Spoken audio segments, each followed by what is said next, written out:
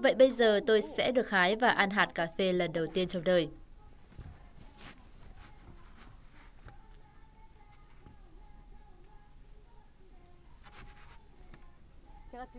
Tôi sẽ ăn trực tiếp cái này đây.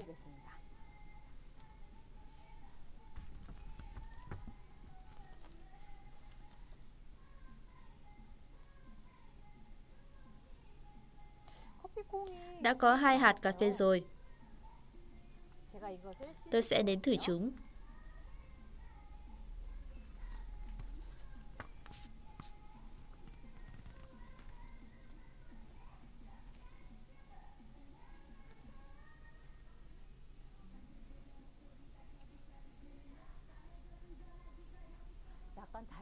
Tôi thấy có một chút vị ngọt.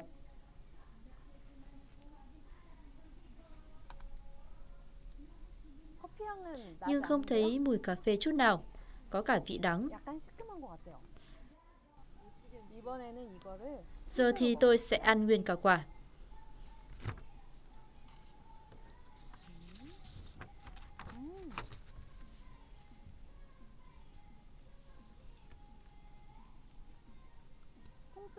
Nếu ăn cả quả sẽ thấy vị ngon hơn.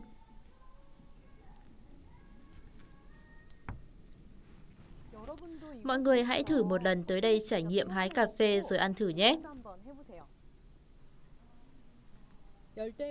Rời khỏi vườn nhiệt đới, tôi cảm nhận được làn gió trong lành và những cây tre đang phát ra tiếng lá xào xạc.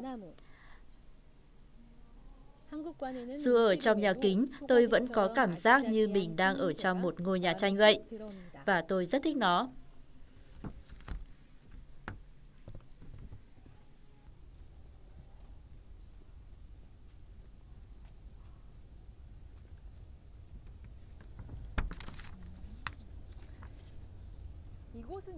Đây là nơi được trồng rất nhiều loài cây, tỉnh Jeolla và tỉnh Gyeongsang. Các bạn có thấy quen thuộc không? Vườn Hàn Quốc nơi có nước chảy và hàng tre xanh. Những ngôi nhà cổ được thiết kế để bạn có thể trải nghiệm văn hóa truyền thống. Không biết vì sao sự bình yên của nơi này làm tôi thấy nó giống như tư gia của một học giả thanh liêm. Có thể gọi đây là phương pháp chữa lành tâm hồn được không? Để chuyến du lịch không kết thúc trong hụt hẫng, còn có rất nhiều chương trình khác. Bạn có thể trải nghiệm mặc hanbok, trải nghiệm học gia phong, trải nghiệm nghi thức lễ nghĩa.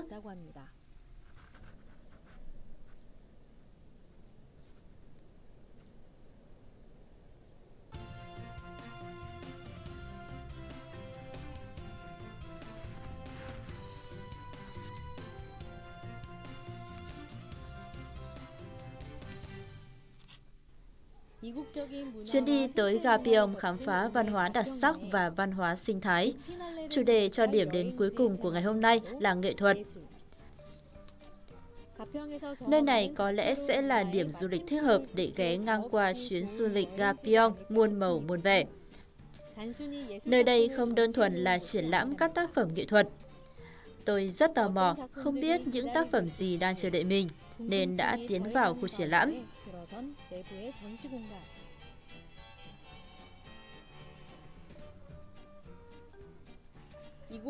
Trước tiên có thể tìm thấy ở nơi này là các tác phẩm được tạo ra bằng cách kết hợp nghệ thuật với khoa học công nghệ. Lĩnh vực nghệ thuật được hiện đại bởi hội họa hoặc điều khác, và các tác phẩm đã giúp chúng ta nhận ra rằng quang phổ rộng đến vậy.